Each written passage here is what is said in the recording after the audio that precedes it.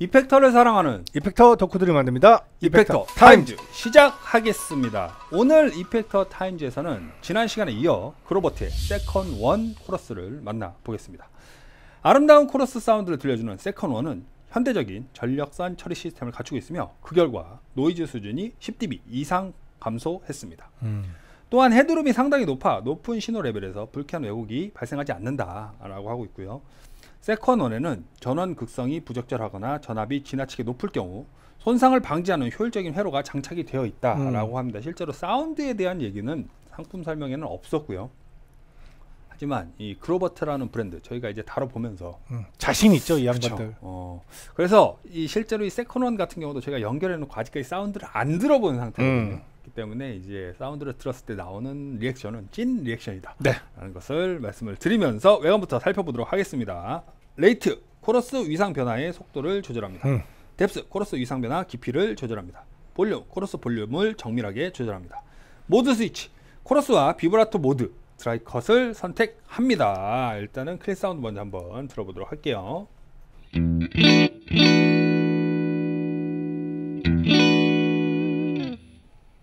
코러스 모드에서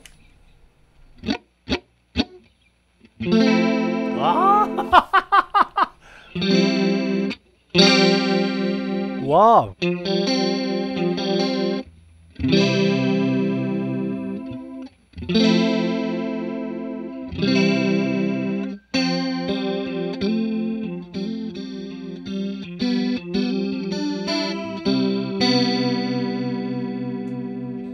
잠시만요. 네.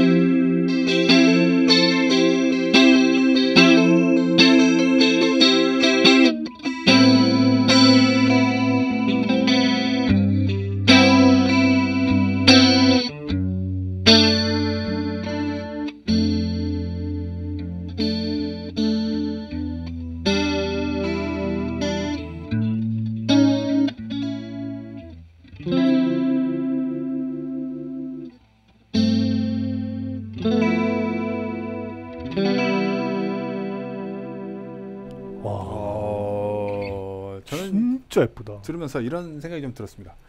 그 꼭 그런 건 아니지만 어, 일본 이펙터 브랜드들 중에서 이런 위상계 사운드 들으면은 정말 정갈하게 이 사운드가 연출되는 페달들이 많은 편이고 음. 이 서양권 뭐 미국이나 영국 음. 다른 쪽에서 유럽 쪽에서 만든 코러스 페달들을 보면 감성을 많이 건드리는 음. 그런 느낌들이 있거든요. 근데 그거에 딱 중간 지점 음.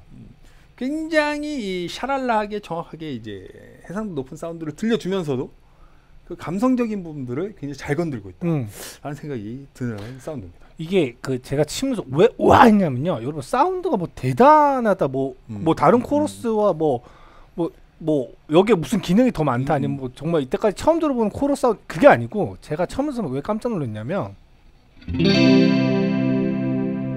이 고영역대에서 이 코러스가 말리는 게 이거는 쳐보시면 더 느끼는데 음. 영상에서는 제가 어떻게 당길지 모르겠어요. 쳤을 때 무슨 깃털로 많은 듯한 음. 느낌이 있거든요. 지금 우리가 코러스 걸었을 때 그 어떤 그 자기 존재감을 그 딱 드러내서 그 쨍한 느낌이 나, 난다거나 그러니까 아까 형님 말씀하셨던 그죠, 그죠, 뭔가. 정갈한 느낌이 난다거나 아니면은 막 몽롱하고 막 음, 음. 어떤 그런 게 있는데 근데 그렇지만 보통 이제 음역대의 어떠한 그런 거보다는 그 코러스 칼라를 더 중요시해서 그거를 보여준단 말이죠. 근데 이제 얘 같은 경우는 EQing을 어떻게 건드렸는지 모르겠는데 뒤에서 말려요. 이렇게 음. 막 이렇게 굉장히 부드러운 이불로 만 듯한 그런 느낌을 주고 있거든요. 자, 그러면 이제 비브라토, 비브라토 모드 모드를 가보도록 할게요.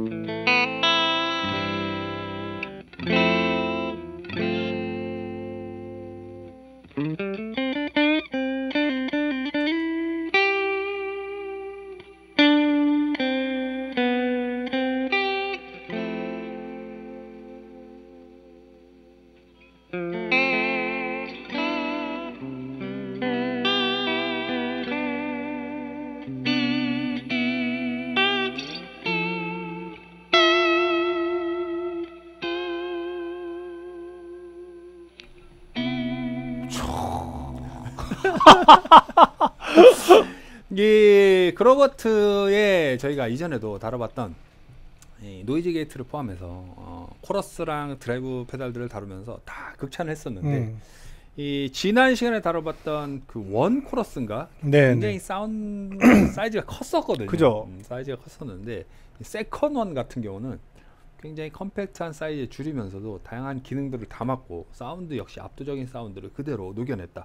그리고 이제 위상계 페달을 쓰면서 많은 연주자들이 사운드는 마음에 들지만 볼륨 때문에 고민을 하는 연주자들이 그죠. 많이 있거든요. 맞아요. 근데 이 친구 같은 경우는 옆쪽에다가 이 드라이버 같은 거를 꽂아서 이렇게 돌릴 수 있게 볼륨 parts를 다시 또 어, 추가를 해놨어요. 그렇기 때문에 볼륨 걱정을 할 필요가 음. 없다라는 게 가장 큰 장점이 아닐까라는 생각이 듭니다. 그렇죠. 볼륨 같은 경우는 여러분이 원하시는 만큼 사실 정해놓으면 자기 세팅에서 사실 만질 필요는 없죠. 그쵸. 왜냐면 우리가 위상계를 썼을 때 순간적으로 그러니까 소리가 뒤로 간다라는 네. 느낌이 많이 들죠. 그러니까, 그 사실 뭐 뒤로 간다 앞으로 간다라는 표현했을 때는 뭐뭐 EQ의 미들의 영역일 수도 있지만 멀어졌다 소리가 멀리 들려 이건 사실 소리가 멀리 들린다는 감정인 거고 음. 사실 레벨이 떨어진 거거든요 그쵸, 그쵸. 정확하게 음. 말하면 그래서 코러스에 걸렸을 때 이제 레벨이 떨어져서 이제 우리가 뭐야 약간 이렇게 되는 경우가 많은데 그런 세팅까지도 잘 챙겨갈 수 있습니다 그렇습니다. 이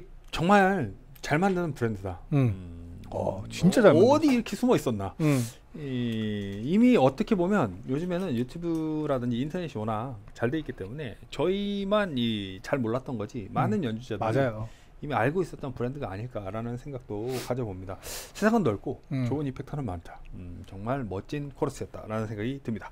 은총 씨 먼저 Grobert의 Second One 코러스에 대한 한 줄평 주신다면 네 하, 오랜만에 설렜다 음. 아, 그 코러스 페달로 설레 본 게 그래도 꽤 됐죠. 꽤 됐는데 와 이 페달은 정말 좀 설레게 만드는 그리고 이 코러스 페달이야말로 어 특히나 이 감성적인 부분이 이렇게 연주자로 하여금 쳤을 때 기분 좋게 만드는 이 맛이 있는 코러스는 이게 경험해 보시면 음.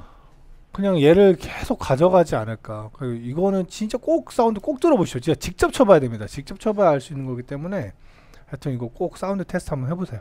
그렇습니다. 은총 씨가 말씀해주신 모든 내용이 저와 굉장히 같은 부분들이 많다라고 생각을 하고 있고요. 저는 한 줄평 호불호 없는 코러스라고 음. 드리고 싶어요. 왜냐면은 앞서서 말씀드린 대로 고해상도의 코러스를 찾는 연주자 혹은 나는 마치 뭔가 정말로 꿈을 꾸는 듯한 몽환적인 사운드의 코러스를 찾는 연주자 이 두 연주자를 한꺼번에 만족시킬 수 있는 코러스다 음. 라는 생각이 들었거든요. 이 은촉 씨 말대로 기회가 되신다면 이 친구는 꼭 한번 직접 사운드를 들어보시면 은촉 씨가 말씀하신 대로 뭐 깃털 이라든지 이렇게 말리는 느낌 이런 것들을 정확하게 이해를 하실 수 있지 않을까라는 음. 생각이 듭니다. 기회가 된다면 저희는 음, 그로버트의 신작이 나올 때마다 꼭 반드시 리뷰를 할 것을 약속을 드리면서 다음 시간에 찾아뵙도록 하겠습니다. 네. 이펙터를 사랑하는 이펙터 덕후들이 만듭니다. 이펙터 타임즈 다음 시간에 뵙겠습니다.